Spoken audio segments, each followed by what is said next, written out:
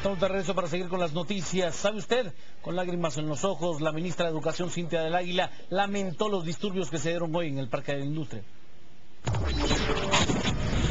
La ministra lloró y con lágrimas en los ojos manifestó que siente una enorme tristeza y una gran decepción como docente al ver cómo sus esfuerzos por una mejor educación se ven boicoteados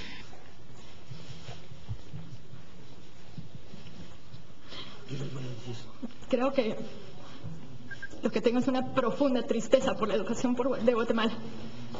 Me da pena ver cómo se comportan las personas y cómo se oponen a un diálogo.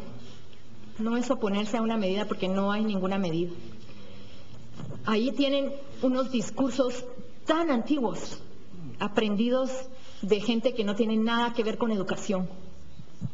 Eso es lo que me preocupa más que agredida, me siento ofendida como guatemalteca y totalmente decepcionada como educadora. Porque ahí, en ese salón, habían niñas que sí querían estudiar y habían maestros que sí querían dar clases. Como por el contrario, del otro lado estaban maestros y alumnos que no querían estudiar y a quienes definitivamente si no quieren participar en esto, pues que no estén. Las clases van a continuar.